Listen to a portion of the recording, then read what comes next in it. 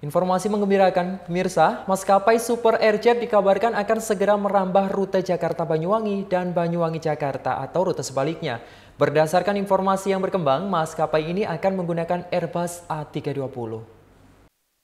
Kabar akan segera dibukanya rute penerbangan Jakarta-Banyuwangi serta rute Banyuwangi-Jakarta oleh maskapai Super Airjet membuat publik di Banyuwangi menyambut gembira.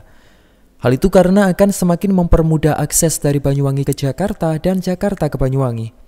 Sekedar diketahui, Super Airjet yang akan menerbangi langit Banyuwangi ini menggunakan jenis Airbus A320.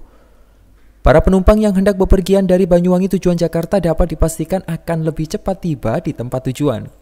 Dengan dibukanya rute penerbangan Banyuwangi-Jakarta serta sebaliknya oleh maskapai Super Airjet semakin mempermudah warga Banyuwangi untuk mengakses ibu kota Jakarta karena akan membuka rute penerbangan setiap harinya.